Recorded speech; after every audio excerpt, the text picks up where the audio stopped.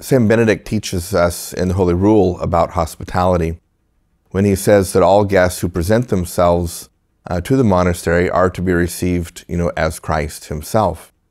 And we're to invite our guests to uh, pray with us. We're to read the scriptures to them uh, and not only simply enjoy their, their company, because that's not really the heart of, of true Benedictine hospitality, but true Benedictine hospitality is really in receiving Christ. In the guests that come to us, St. Benedict makes a very special point of, of the importance of recognizing Christ in them. It's another experience of encounter with Christ to, to reach out to the people who come to this place.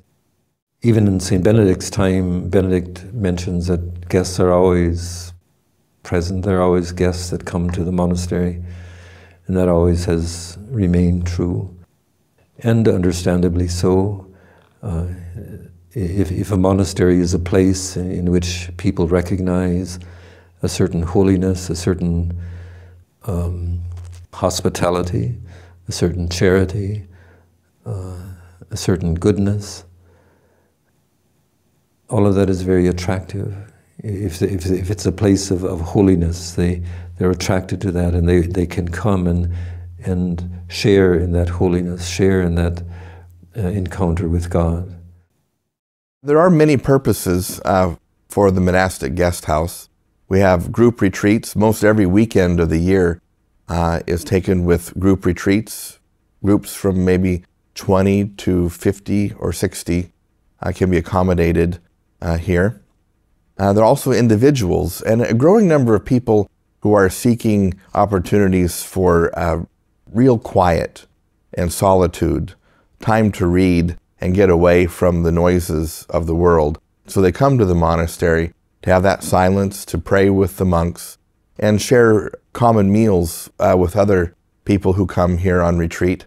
And one of the particular things at Mount Angel is that we always have a monk eating with the guests. I'd like to speak of this mountain as, as, a, as a holy mountain. Uh, I like to think of it as, a, uh, as mountains have been in, in, the, in the scriptures, in the Old Testament, the New Testament. Um, Mount Sinai, Mount Tabor, the, those are places of encounter, places of, of revelation, where Jesus or, uh, revealed himself or where God spoke.